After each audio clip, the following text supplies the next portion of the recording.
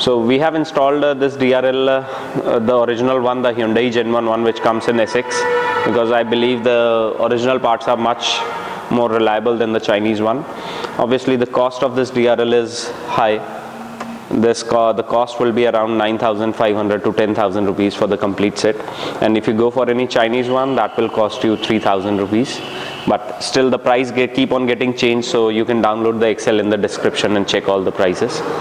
So the DRL uh, in the normal mode it looks, looks like this. When you switch on the parking mode the DRL gets dim and the fog lights get on.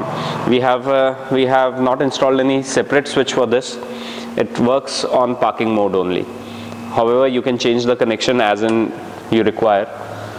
Thank you for watching my video. If you really like the video please like it and share it.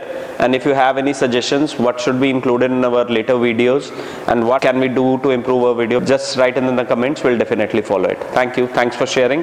Thanks for liking my video. Thank you